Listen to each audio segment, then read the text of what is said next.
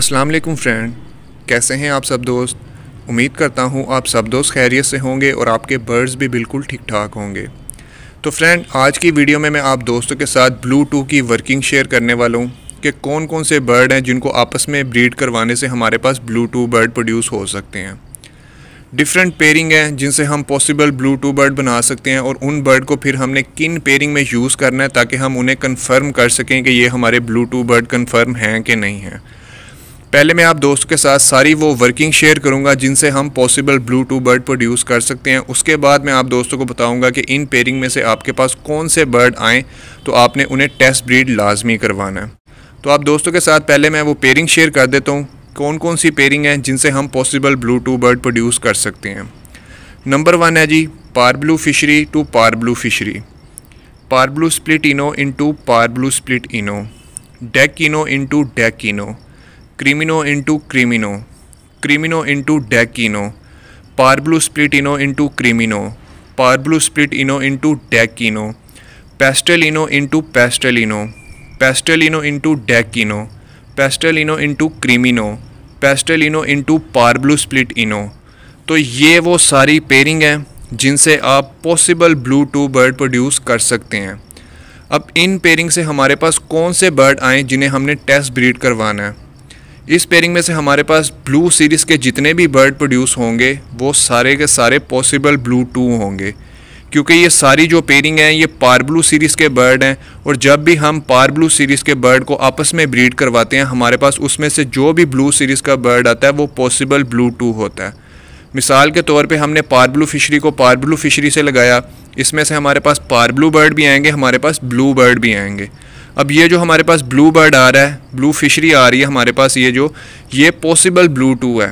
इसको आपने again blue series के बर्ड के साथ ब्रीड करवाना है। सारे बच्चे अगर आपके पास पार ब्लू सीरीज़ के आ गए तो ये आपका ब्लू टू कन्फर्म हो गया। तो अब बात कर लेते हैं जी कि बर्ड कौन कौन से आएँगे। हमारे पास ब्लू फिशरी आ सकती है। हमारे पास blue fischeri split ino blue pastel blue pastel split ino albino black eyes albino red eyes इन पेयरिंग में से हमारे पास ये जो बर्ड आ रहे हैं इन्हें हमने टेस्ट ब्रीड लाजमी करवाना है।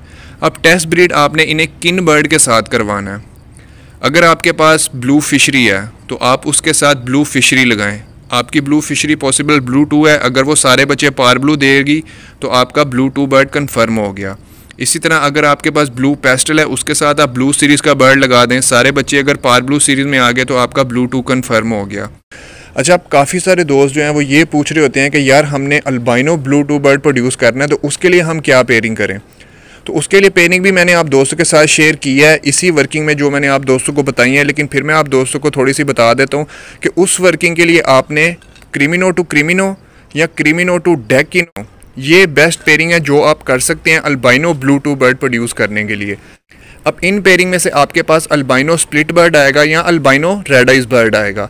अब ये जो बर्ड आपके पास प्रोड्यूस होंगे, इन पेयरिंग में से ये आपके पॉसिबल ब्लू टू बर्ड हैं। इन बर्ड को आपने ब्रीड किसके साथ करवाना है? कुछ दोस्त इस तरह की मिस्टेक कर देते हैं कि वो टेस्ट ब्रीड करवाने के लिए अगेन उनके साथ पार ब्लू सीरीज़ का बर्ड लगा देते हैं। यानी कि अगर आपके पास अल्बाइनो स्प्लिट इनो है, जो कि पॉसिबल ब्लू टू है, आप उसके साथ अगर अगेन डेक इनो या क्रीमिनो लगा देंगे तो उसमें से आपको कन्फर्म ही नहीं होगा।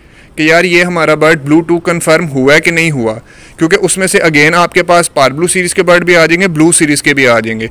और अगर वो बर्ड आपका क्लिक कर रहा होगा तो जो बर्ड आपके पास ब्लू सीरीज़ के आएँगे, उसे आप भेज देंगे और वो अगले बंदे के पास जाके ब्लू टू कन्फर्म हो जाएगा। तो आपने कभी भी टेस्ट ब्रीड करवाने के लिए ब्लू बर्ड के साथ पार ब्लू सीरीज़ का बर्ड यूज़ नहीं करना। यानी कि अगर आपके पास अल्बाइनो रेड आइज़ है, जो कि पॉसिबल ब्लू टू है, उसके साथ आपने क्रीमिनो या डेकिनो नहीं लगाना। उसके साथ आपने अल्बाइनो रेड आइज़ या अल्बाइनो स्प्लिट बर्ड लगाना है। और अगर इस पेयरिंग में से आपके पास सारे बच्चे क्रिमिनो या डेकिनो आ रहे हैं तो ये आपका ब्लू टू बर्ड कन्फर्म हो गया। और जब आपका ब्लू टू बर्ड कन्फर्म हो जाए, फिर आपने उस बर्ड के साथ क्रिमिनो या डेकिनो बर्ड लगाना है। उसमें से फिर जो आपके पास ब्लू सीरीज़ का बर्ड आएगा, वो आपका कन्फर्म ब्लू टू बर्ड है। उसे टेस्ट ब्रीड करवाने की ज़रूरत नहीं पड़ती।